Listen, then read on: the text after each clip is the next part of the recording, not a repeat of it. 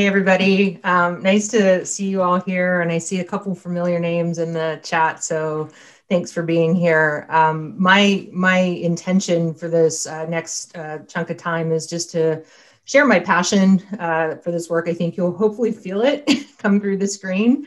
And um, I'll give you a little background of, of why this matters to me, um, but also really want to use this session to get practical as well. And I think it's important when we do these kind of talks that we don't only talk in theory about what could be possible, but actually things that we can do. Um, and I'll share some things that I've already done um, and some mistakes that I've made along the way as well, so that um, it's not just all, as I say, you know, puppies and sprinkles and everything is great. Um, but my intention is to leave you with um, some practical activities and hopefully to, to evoke some thinking and questions um, to really think about what you can do to move this forward. So just a little bit about me. I am from Pittsburgh, Pennsylvania, which those of you who are maybe not from the states, that's in southwestern Pennsylvania, kind of down in the corner. Um, and I have been in this profession of people, uh, HR, uh, technology, operations, culture change for 22 years. Um, and I've had the fortunate uh, good fortune to work for a lot of companies that um, are very diverse. So, starting out with a uh, very successful startup back in the late 90s. So, everyone do the math about how old I am. Um, and um, getting to be in a people development environment back then.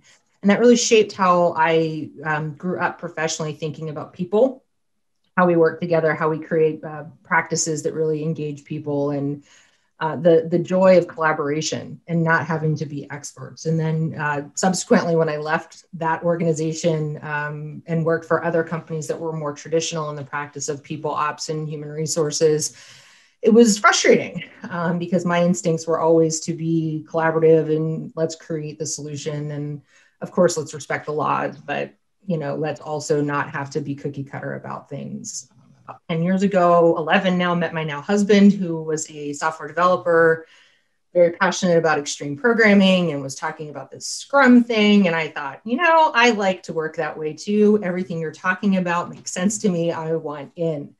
And at that time, there was maybe a little bit less um, openness, and not because anyone was being closed, but there was a little less openness to bringing these principles and practices into the work that we can do in our organizations outside of technology. So I've been on this mission for 11 years.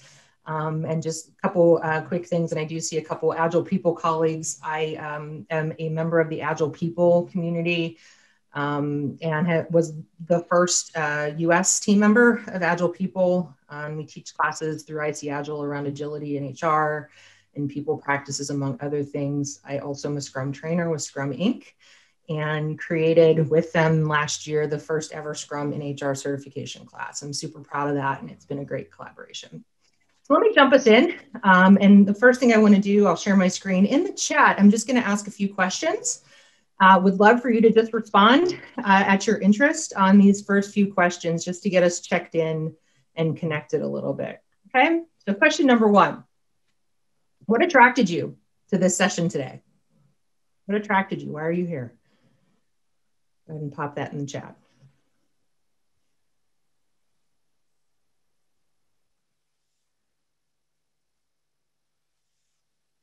No one's saying, you know, big fan of Beth. No, I'm kidding. Totally kidding. It's maturing. Thank you. Curiosity. We need it. Thank you. Curiosity. Curiosity is one of my uh, number one character strengths. I am infinitely curious myself. Um, great, Kathy. Welcome. Um, just excited to have you all here. Getting practical about being agile in HR. The fun thing is, I will I will share a lot of stories with you because I have led uh, large organizations of HR. Uh, one of the largest employers in the state of Pennsylvania.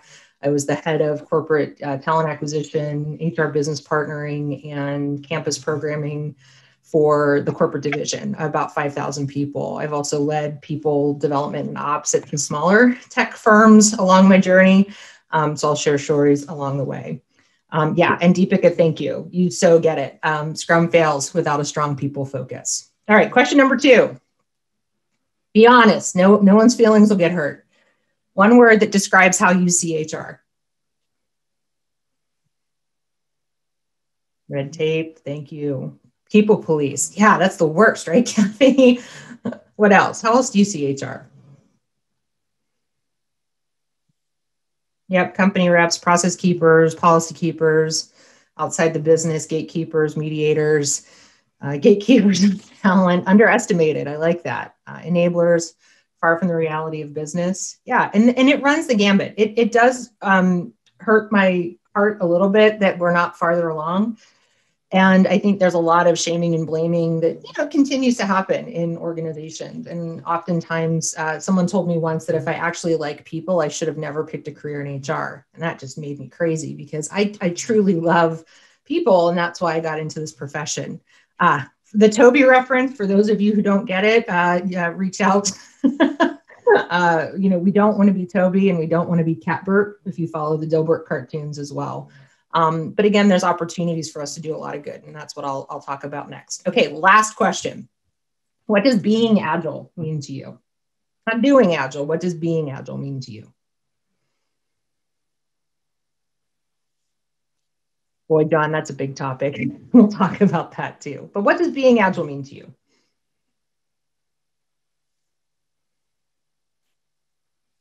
Continuous improvement, engaging everyone's potential, flexibility, adapting, learning, respond to change. Love the word respond, right? Not react to change, but respond. Iterate, customer needs at the center, collaboration, transparency. This is great.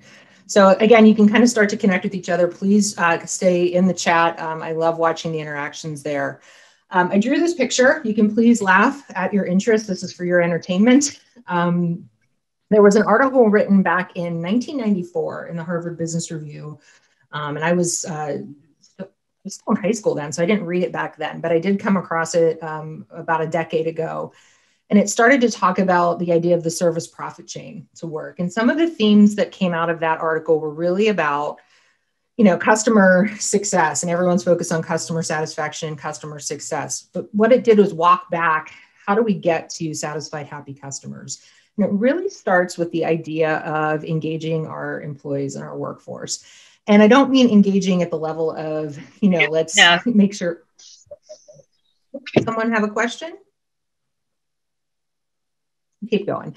Doesn't mean engaging at the level of simply initiative based things. I did a talk a few years ago that was titled, How Many Engagement Initiatives Does It Take to Unscrew a Burned Out Culture? I was trying to be a little bit funny there.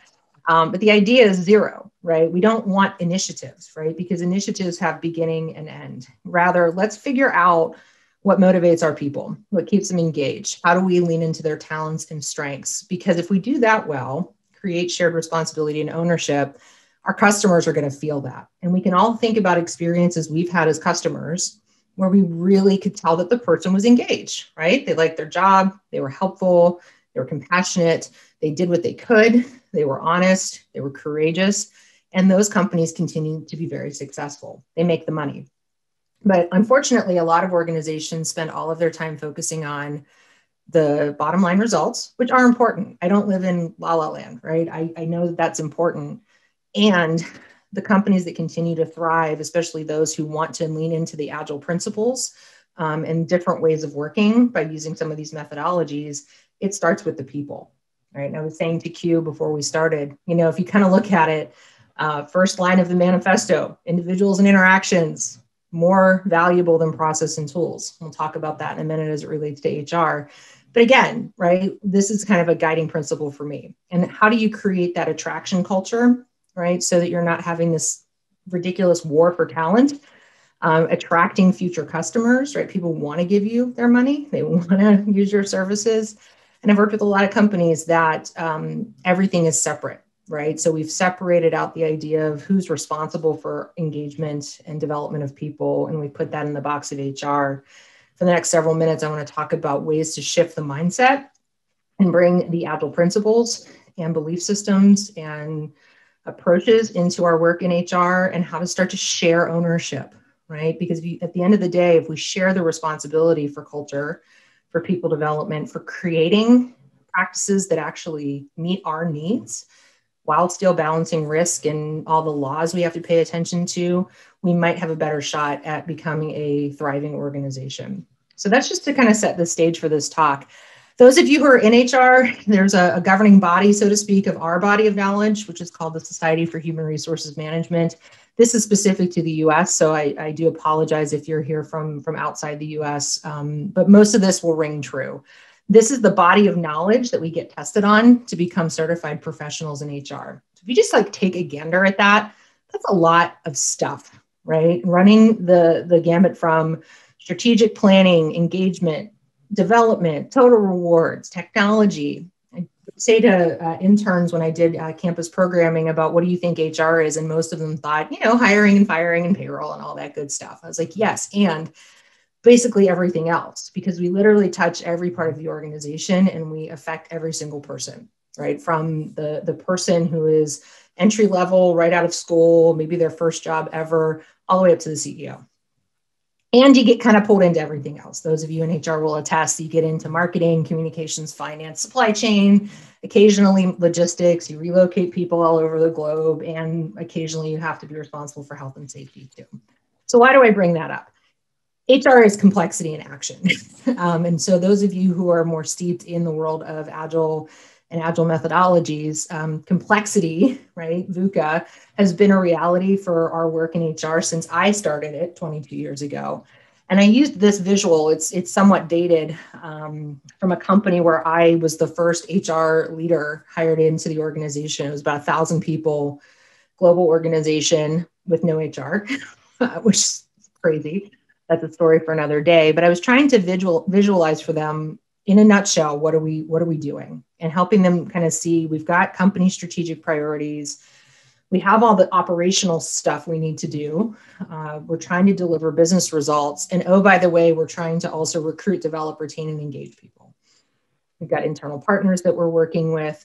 This is complex. And I think it was eye opening for that leadership team to say, how are we going to get this all done? We have a very small team and we're not looking to grow uh, the team that you've uh, taken on, Beth. So how do we do that? And so this kind of started my journey into thinking about different ways of working.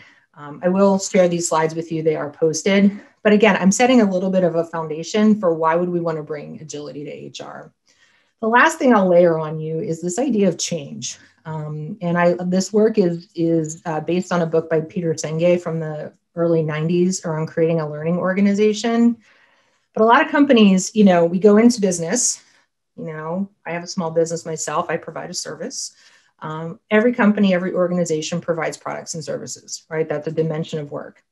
The second dimension of work is in order to do that, right? Um, we have to design processes, systems, we create organizational structures, um, we move people around, we invest and de invest in different things. The third dimension of work, which is the human side, right? Thinking about how we think, how we all interact, how we feel, how we take action is the dimension that often gets ignored, particularly when companies go down the path of bringing in agile methodologies. And I've watched this happen over the last six or seven years in the work that I've done is that they'll start down a path of where we've done some training, we're trying to use Scrum, we're trying to use Kanban, it's just not working. It must be the process, right? There, there certainly can't be anything about us that is affecting our success with this way of working. And so I give you again this this last layer on top of this to say why would HR want to embrace agility in service to creating a thriving organization? Um, it's really in service to helping lead this change and seeing that if we're not connecting the dots between our ways of working, how we deliver products and services, how we behave with each other, right? What's our culture look like? What are we tolerating behaviorally and what are we what are we doing about it? And how are our people practices in particular either enabling those ways of working and behaving to sustain or not, right? So to me, it's that the constant threading of the three together. Your culture may be the thing. It might be the reason that the agile ways of working and being aren't, aren't um, successful in your organization. Your culture could actually be disengaging people unintentionally. And that can be for a variety of reasons, like silos, um, lack of decisions being delegated in, not trusting people, treating people like they're children, right? I'm, I'm very positive right now, I know. Um, but if one of your challenges is people seem disengaged, or you only think 10% of the, the workforce that you have are your key talent, um, you're missing out, right? And when you're looking at turnover and wondering what's happening, it could be behavioral things that are going on. And then you start layering in agility and change in general, it can really start to take a toll on people. So I want to take us on a tour of something that I, I deeply believe in. Um, when I got to work with uh, Agile people uh, starting three years ago, um, one of the things we started to talk about were the Agile people principles. Um, and these principles are not meant to be anything other than additive to your view of what is being Agile. A practical thing that I would offer for you to take is taking this set of values, right? These principles, these things that we think are important to creating an agile culture, and do an assessment. Do a self assessment with yourself. Where do you feel like you're good? Right? Where do you personally feel like you're strong? Ask your team, like, what are we really good at? Which of these principles might get in our way uh, of being successful in our shift to being a more agile organization? Um, I'd be remiss to not give a shout out. Uh, Mike, I know you're on the phone somewhere. Hi, Mike. Uh, Mike Lieber, he's a great expert in this space too. We, uh, a group of 35 of us, got to write a book last year together on these principles. I see me in the middle there. Um, I wrote the chapter on self organization. Uh, if you'd like to learn more, please reach out uh, and we'll take you into this. But the principles are the first thing, right? So if you're starting to go on this journey, whether you want to apply this to HR or you're an HR uh, team member who's supporting the organization making these shifts, this is a great quick check and assessment to see where the principles are serving you well. Okay, time for a check, check in on the chat. And I'm going to wrap us up. I'm going to go pretty quick so we have time for questions. In your company today, where would you place your current people ops and organization as it relates to agile methodologies and mindset. Let's see some votes. So A, A through D, let's see what you come up with. Okay, some A's. Okay, Charlotte looks like a C. Trying to understand, that's great. Lots of A's so far. A's and C's, a couple B's. Some of this is, we support it, right? But we don't want to be involved, um, or we support it, um, but I'm kind of curious, but I don't think it applies to us, right? And one of the first questions I'll ask to leaders outside of HR that I work with is, what has stopped you from bringing your HR partners in? And you get all kind of fun answers about that. It's like, well, wait a minute, this is going to fundamentally change the way you team, the way you hire, the way you incentivize, the way you think about performance management, the way you think about engagement it's all going to change. And if you don't involve early, you'll start to bump up against it and you will have tension. Um, and that tension can be avoided by engaging early and often. So think of it this way, and I'll move through this quickly, and I'm going to share one uh, case study with you of, of where I've put this to work. Our product from HR, this is a mindset that I've held for a long, long time, is the entire employment experience, right? It is not anything other than that. And that employment experience starts from when we post jobs and we're trying to draw people to us through and past the exit process, whether someone is exiting because they chose to, they're retiring, or we've asked them to leave. There's a continuous flow that we have to think about. And, and what I encourage you to start to think about this is your second takeaway is starting to shift your mindset from HR projects and initiatives, right, to in service to our product. Who are we creating value for? Who are we creating this value with? And I know for me personally, the more I can reach across boundaries and bring people together, the better. And I've also worked in HR organizations where the partnerships across HR are not healthy. and um, the, the organization feels that, right? And if you have a one HR initiative going on in your company, that might be a red flag. um, not that you're bad, but that you have some challenges ahead. But you know, Bersin has put some great work out over the last several years, kind of starting to look at the entire um, ecosystem of the employment experience. And a lot of times, HR folks will take this on as this is our job, and we're responsible for all of this. I'm going to challenge your thinking, and then I'm going to show you that it's possible with the right leadership and, and courage. The idea that you can actually shift your model to do a more co-creation approach to HR solutions. Now, I respect that certain industries, I've worked in healthcare, I've worked in financial services, I've worked with the federal government. There are certain things that we just have to do in a standard way to mitigate risk and to keep the companies out of, uh, or the organizations out of trouble. And there's a lot of things that don't have to be standardized. So the mindset shift that I bring forward to you is thinking about sharing ownership. Uh, how do we co create the right pay structure for our company or for our division or our department? How do we think about engagement differently? And actually working collaboratively with our customers. Does this sound familiar, practitioners of Scrum? Work with our customer, right? Bring the employees and managers in and help develop them, help share the ownership of HR. The other thing about the product of HR, a lot of our product has been moved into technology. Won't have time to get into this deeply. There are thousands, as you know, uh, companies that have spun up over the last 20 years that are in service to helping HR become more efficient, maybe more effective, maybe freeing up some of the transactional excellence, and also not necessarily agile in all of their approaches when they start implementing these solutions with you. So if you are working for one of these companies, start to think about how you implement and how you can model the principles when you're bringing technology in. And if you're a practitioner of HR, don't assume that the technology is going to help deal with the cultural things that you're working through. Okay, Q, I know I'm going to wrap up. So think of it this way this is your second takeaway mindset shift projects to products. Who's getting value from this work? How are you involving them? And this could be super scary, but I'm going to tell you my fast story, Q, if I can, and then we can open it up for questions. Are we okay? Absolutely. Go ahead. Yeah, go ahead. Okay, last thing. So my journey, right? I, I, I drink my uh, I drink my own Kool Aid because I have to I have to prove it to myself that it can work. Um, last year with Scrum Inc., we created the Scrum and HR class, and we've had about 60 people come through it so far from all different uh, types of organizations. These are some of the quotes that came out of the class. Everything from now I know what's happening around me, so I can be more conscious of it. I had no idea.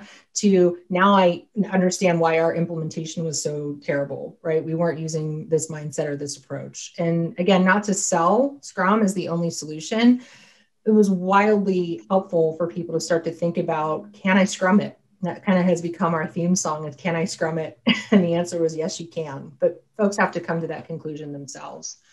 Um, this is a fast example. Back in 2005, I worked for a large global uh, kind of complicated business that was in the engineering, construction, manufacturing, maintenance type company. And essentially, we were tasked with creating a brand new employee manager self-service technology platform without without being allowed to buy anything new. So we had to use what we had. and so in collaboration with all the business units, uh, had some SQL developers in-house, myself and a few others, we chipped away over you know about a year and a half to two years um, pacing going 100% paperless using jd edwards which if you've ever seen that it's a green screen sharepoint and just a lot of people getting involved to 100% automate every single hr transaction across the five division multinational company. And it was awesome and it was fun and as i look back on it we scrummed it which was great uh, coming into some other companies, we've used uh, Kanban. This should look familiar to many of you. I, I, joined a smaller company. They had two people in HR with no experience, and we had the wall of madness, as we called it. And we used uh, Kanban to just help us day to day look at our work and our, our flow. Um, this also helped me as the leader make a case for getting additional people to join our team. The other thing we did, this is a fast case study. Again, you'll have access to these slides we also had a lot of opportunities uh, to add features to our people practices that we didn't have in place before. But with a very small team, I started to figure out a model. Please again laugh at my drawings at your interest to figure out where we had outsourced partners who I could look at as an extension of our team and kind of get more work done with them and then starting to look at our strategic initiatives as how can we spin up scrum teams. And so we ended up having one two three four five six seven eight scrum teams going um, in this small company that was made up of primarily employees and managers who had a vested interest whether it was compensation re-implementing our system which was this one um, and it also brought those people in to get development. So we were able to help them think about things like budgeting um, implementations change leadership and we just went through this this process you know and and after four weeks we had all the employees punching in and out. Non-exempt workforce they weren't clocking in and out very risky. But their teammates went to them to get them to do it. It wasn't beth saying you have to do this or else. Change the mindset. Quick product backlog examples again happy to talk about how we did this And these are six other examples that I would share of where I've been using these mindsets uh, and methodologies as well. So anything from compensation framework design, employment brand creations, using it in M&A due diligence. And the reason we did that was really to just think about how do we get more fingerprints on things? How do we share ownership? And if you're in a large HR organization, silo busting within HR, awesome way to create a really great work workplace is because you're involving your customer because everyone in the company is a customer of HR, including you as the HR practitioners yourselves. So if you take that mindset from this talk, what I'd love for you to do is just start to think about the last step of prioritizing your backlog and seeing where you could potentially do an experiment. So with that, I'll ask you in chat, think about your 15% from this talk. I know it was fast and we went really quickly, but what can you do? What can you do right away without needing any additional permission, approval, resources, not people, because remember, people aren't resources, we're people. And uh, what, what's your takeaway? If you'd like to share that in the chat. Otherwise, I'll say thank you for being here. I see some great questions popping in the chat and appreciate you taking time to be with me and letting me share my passion.